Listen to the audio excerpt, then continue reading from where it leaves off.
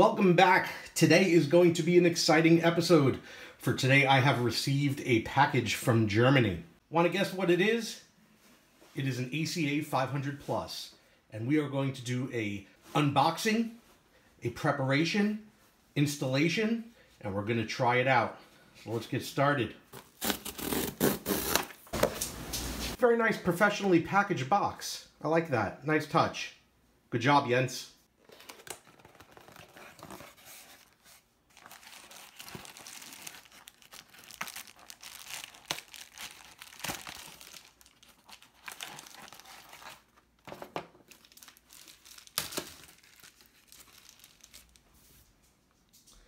And here is the card. I'll just place this off to the side for just a moment. And we have uh, some brief documentation, which, which I will actually go through. I'll point out, and it should come as no surprise uh, to those who are familiar with it, that there is no there's no case for this, and I, and I was well aware of that. I'm, I'm not surprised either. Um, so you can purchase uh, an appropriate or proper case for this online, or fabricate one yourself. But yeah, it, I'm not thrilled about that, but there's no option for it, so it is what it is. It had been discussed in a previous video that I had an accelerator card and did not have the original 68000. This is a 68030, so if you're wondering from a processor perspective if the installation of this ACA 500 is a downgrade, you're correct, right? It can be overclocked to 25 megahertz and even faster, but um, most will understand that uh, a 68,000 overclock to 25 megahertz uh, is not the same as a uh, 68030 at 25 megahertz. They're not the same processor. They have uh, different instruction sets that make this one more efficient. I'm not going to go into it. Uh, long story short, it is a downgrade. However, uh, should I choose, there is a uh, bolt-on accelerator that can be added to the ACA 500 uh, to make it much faster beyond the scope of this video, right? But what I have to do right now is remove this, and this is going to essentially leave me with no processor at all. Now, I did talk to Jens about this and ask him if it is possible uh, to run the ACA 500 Plus without this processor, since it is using the one on the ACA 500 Plus. And the answer is yes and no. I can, but I have to modify the board. What I decided was, because I want to leave this stock and make uh, the uh, upgrade a bolt-on package, I've opted to put a 68,000 back in this computer, right? And make this computer entirely original and I'm going to do that now. What I have here is a brand new OEM 68000 microprocessor. I'm going to install it in this computer, and then I'm going to hook up all the cables, and we're going to boot this off a floppy just to make sure everything is functioning fine. I'll further note the detent marking the position of pin 1 on the board. There we go, this thing is now vanilla. Let me connect all the cables, we'll fire it up. It's a good sign. Looking for workbench. Obviously, if the processor was no good, we would not get this far. I'm to let it cook, I'm to let it boot, I'm to make sure everything's okay, and then I'm to proceed, but I'm not to record all that on video. I'm just to come back when I'm satisfied. I'm satisfied with the CPU installation. I'm going to shut it down, unplug all the cables, and proceed. Installation is somewhat uh, unceremonious. Again, I would have been happy to pay a little bit more uh, for a um, for a little bit more uh, coverage in the kit, right? But again, I'm, I'm willing to accept that. There, the, the, the sidecar is where it connects to, so I'm just going to do that now. I'm going to do this with the cover open so I can see what's going on here. Make sure I'm not hitting that metal shield. That would be the smart play.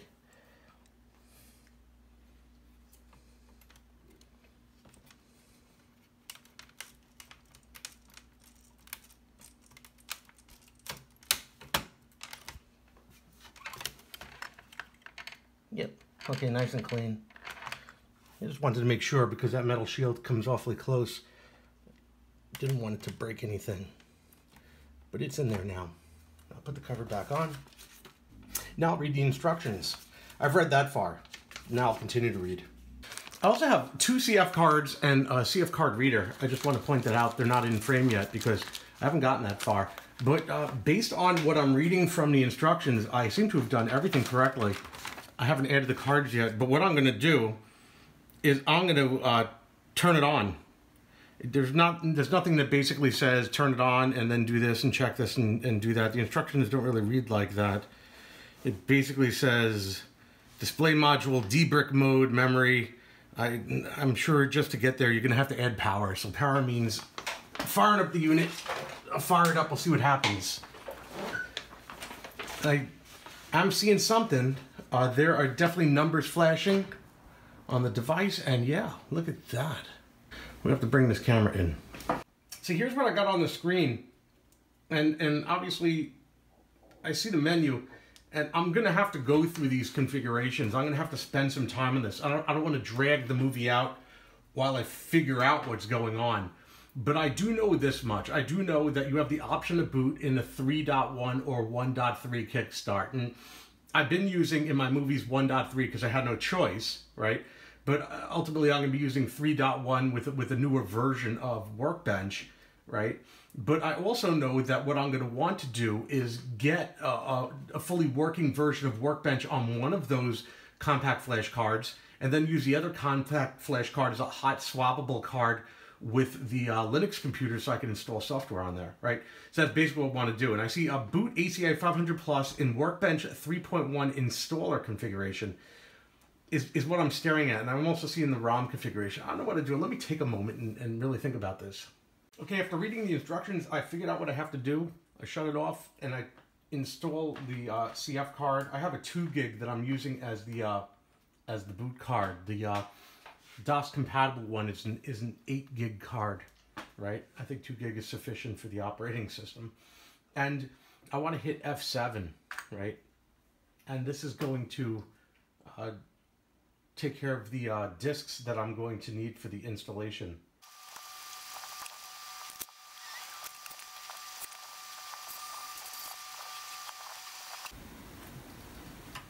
With this, we can see an instance of Workbench is booted, and all six of the disks are there. Uh, because the compact flash card is installed physically, it sees it as a hard drive, and now I can um, go through the regular hard drive installation process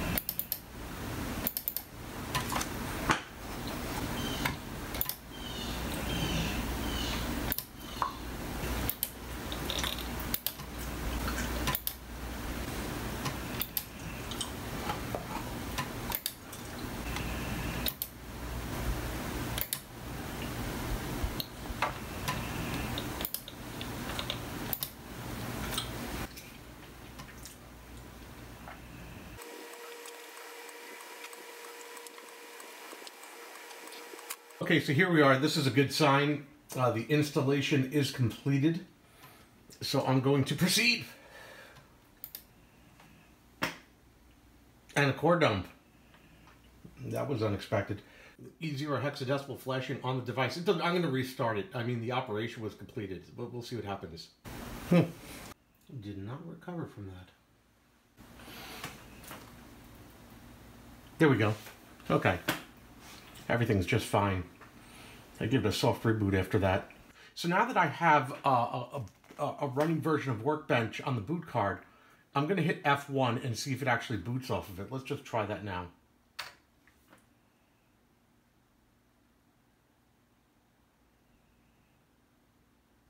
And the boot light is flashing. That's a good sign. See what we get. And it is going crazy. I like it. That was quick. We're only on 14 megahertz, but I mean, as far as throughput goes, I mean, that's a lot quicker than floppy. We are looking good. Let's open it up, see what we got. We got our RAM disk, right? So, I mean, there's not much to say about RAM disk, right? I've got two partitions here that I, that I saw. I believe this one was like 8 meg? No, 2 meg. Uh, this 2 gig right here. And the workbench partition, where the where the whole operating system sits, right, is just under uh, six megabytes, right? And or it, there, there's a lot free still yet, right? So you got uh, five, about six megs, uh, two in use. So yeah, it's a much smaller partition for the workbench. I don't know if the workbench is a subset of work. I can't be sure. But now I could go in and do all sorts of configurations and what have you because this is now, you know, all set up for me. But what I can do, I know what I can do immediately if this is DOS formatted and it allows for me uh, hot swappable to simply drop this card in. I don't know if it's going to limit the partition or if I have to repartition it. I don't know what, but uh, we're going to find out. So let me drop this in the auxiliary port right here. Let's see if anything magical happens. I'll close this so we could see. I see a light flashing, and I got a I got a disc, and it's showing I, I guess a four gig, which is the maximum amount that this can address. Right, that's just a, a limitation of the Amiga. So that's four gig right there. So what I may do is just uh, put a file in. I don't know if it, it, it it's formatted for four gig or or what, because I know it's an eight gig card. So I'll have to see what's going on when I drop it in the Linux side, see what we got. But it did discover it, and, and that's a good sign. So I'm I'm happy with that. So I'll go back to Workbench because this is this is really where I want to be right now. So I'm looking at the screen mode as the first preferences. I'm in the preferences section. I don't know what would happen if I switched to interlaced. I know that it would increase the resolution. I don't know what it would do. I could do use not save uh, which would allow me to fall back. So let me click and see what happens. And it did work, actually. It, and it looks nice here. There's just a, a little bit of um, weirdness in some of the icons. But you can see that, yeah. Yeah, so resolution has been improved for the workbench. So that's that's a positive. I could definitely go with that we're to go through all we're to go through all the stuff this is to take quite a while bear with me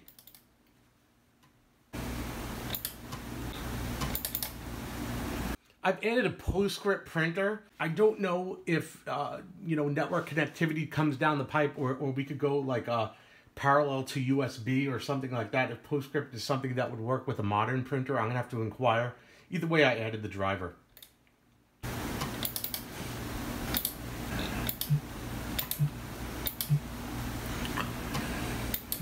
I do hear the sound. Uh, my monitor is low. Let me let me see if I could raise that up. Yeah, that'll work. There's overscan support. That's nice. Again, PostScript set for parallel. Uh, doing a whole lot of nothing right now, but I'm going to say okay for a future project. We were already in here for the screen mode. I'm going to leave the time alone until I get that battery replaced. I got uh, this battery right here that should be coming in in a couple of days. The um, CR2450 has not yet arrived. Mouse has a good sweep, so I'll leave that alone. We're gonna we're gonna leave all this alone.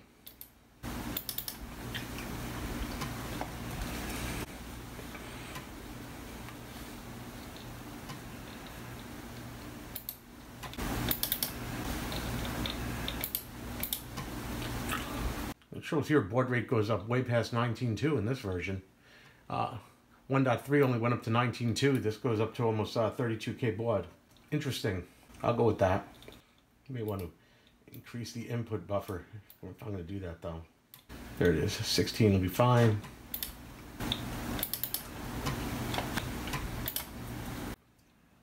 Cool. I'll say that's a nice uh, quick view of preferences. I've given the uh, removable SD card an appropriate name. It had a random number, and this will make it easier to identify. I don't know why the icon hasn't turned into a hard drive, and I'll address that later. And the first program that I wanted to test this all out with was the uh, LHA.RUN, the auto extractor for LHA. And all I did was I, I, I took that card, I put it over to the Linux side, which obviously it auto mounts as FAT, right? And it sees it as 8,000, interestingly, even though this side sees it as 4,000, but I didn't have to repartition it in any way, right? So I just uh, dragged the file over, uh, unmounted it, put it right in here, and I can, uh, you know, I can do a directory, right? And the files are all there. So all I need to do is simply execute it on this card because there is a process for installing uh, LHA. And the way that I, I've found the best way to do it is just to run it first, right? Locally on the card, right? So, so it'll auto extract and there are several different instances of it. And the generic one is LHA uh, 68K. And technically this is a 68,000. So basically what I did was I copied the LHA 68,000 to the actual uh, workbench uh, uh, folder, right, uh, under C, but I saved it as LHA or renamed it as LHA once it was there. So if I go to workbench, right, the C directory, we can see that the file is here, LHA in the C directory, and that means in any directory that I'm in, I could just type in LHA and that command will execute. Like no worries at all from there, right? So I'm gonna go back to uh, the SD card, right? Because the other program that I had was the uh, sysinfo, right? So LHA um, x sysinfo dot LHA and I've done this before already. I'm just re-demonstrating, so I'm going to do it for all, right? And it's going to re-extract it, right? Now, generally, I would be uh, uh, installing this on the Workbench drive, but I didn't know exactly how this was going to turn out, and I didn't want to corrupt the Workbench drive. So I did on the SD card where I could simply destroy it and, and not care about it at all. So to test it out, I'm going to go to the SD card and we can see because the structure is valid to support this uh, directory sysinfo and has all the stuff here, I could click on sysinfo, right? And now I can see these icons are generated for this, and here is the application itself, right? Which does like the cool thing when you click on it. So now I'm able to actually execute sysinfo. And this is like the, uh, you know, de, de facto uh, um, measuring tool in Amiga. At least this is the one that everybody seems to use to see how fast things are. So when I click on speed and it computes, as it does, we can see that I got, and uh, wait for my mouse to come back, we see I got an excellent rating, you know, and when I expand it, it outperformed the Amiga 1200 by, by a notable amount, right? So that's that's pretty cool right there. So I'm happy with that performance. Remember, there's no there's no accelerator uh, added onto this right now, and it's already doing pretty good. This could be overclocked again. I could get more performance, but you're never going to see this thing touch the 68030, even if if the uh, um, the clock speed is is increased and surpasses that, because you just can't compete with the 68030 with a 68000 unless you got you know one of those accelerator boards bolted onto here, right? So let me take a look at the memory, right? And this is just showing memory for those who are interested in memory. My camera's having a, a little trouble focusing. And there's this is the memory information. This is on the ACA 500. I could see uh, um, what is this about six megs and uh, one meg. This last one was uh, slow RAM, and this is chip RAM is 512K and, and that's what I got. The boards, as shown, we can see that it's showing this Zorro board and the manufacturer is showing the website of uh, the company that we got it from, right? So that's cool. The drives, of course. This is the uh, compact flash auxiliary that I've named SD card. Take a look at the speed. We're seeing uh, two megabytes per second. I guess that's not bad for Amiga, right? Some SCSI information right there and pulling the information right off, off of the device, but you see it still shows it to be uh, um, just under uh, 4 gig, right? Even though it's an 8 gig card. That's fine, right? So I have a floppy disk. I can't, I don't have anything in there, so that's all I'm going to say about that. HD zero, let's take a look at the speed. Doing some reading. Again, 2 meg. You figure the throughput would still obviously be the same. SCSI device is going to show. Yeah, okay, that's fine. And then obviously finally, HD1 is our other partition. We don't need to look at the speed. And that's our, our, our, two, another, our two gigabyte right there. So cool. And that's my uh, sysinfo right here.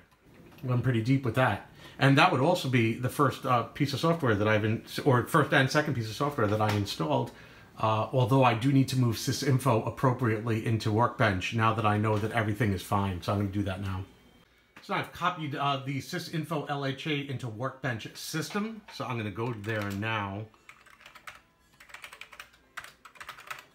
Right? And I'm going to take a look. And there it is. So do a proper installation.